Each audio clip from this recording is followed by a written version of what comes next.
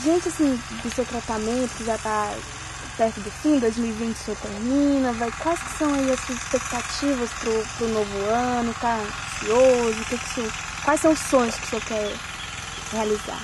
Olha, eu tenho um sonho né, que é de fazer a faculdade de teologia. Né, então eu creio que terminando esse tempo eu agrego aí né, em alcançar esse sonho, né, que é fazer a faculdade de teologia, que eu tenho algo assim que eu amo, que é pregar a palavra, né, eu sou presbítero da Assembleia de Deus.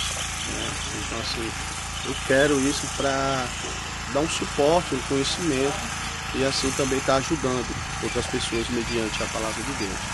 Então esse é um dos sonhos que eu vou colocar primeiramente em prática assim que terminando o meu tratamento, né? É agregar-se numa faculdade de teologia. Quais as maiores dificuldades de se fazer o tratamento para dependência química? Olha, é a aceitação, né?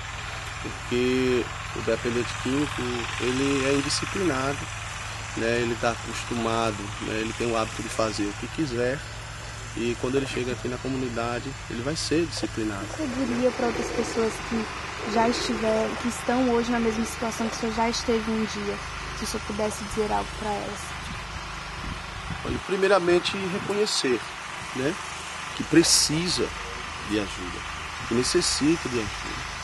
Porque muita, muita gente, né, que estava na minha situação, ou que se encontra na minha situação, a grande dificuldade dele, o orgulho, né, está tomando conta dele, e ele não consegue né, admitir, reconhecer, chegar para sua esposa, né, ou chegar para sua mãe, ou para o seu ente querido, para as pessoas que se preocupam e acreditam, e quer e deseja uma mudança da parte dele, ele não consegue pedir ajuda para essas pessoas porque o orgulho não deixa, ele não quer parecer frágil, fraco, diante das pessoas. Então a grande dificuldade é essa. Né? Então aqueles que estão é, ou vão me ouvir, né, admitam, peça ajuda, né, se dirija até uma comunidade terapêutica, pode ter certeza absoluta que você vai alcançar os seus objetivos e alcançar uma mudança. Você vai sair né, dessa situação tão adversa, né, tão triste né, e, e, solidão, porque o dependente químico ele se torna solitário, porque o crack ela é uma droga depressiva,